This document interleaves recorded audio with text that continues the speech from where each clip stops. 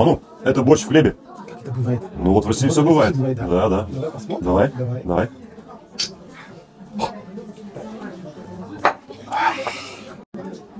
Прикинь, а ты борщ.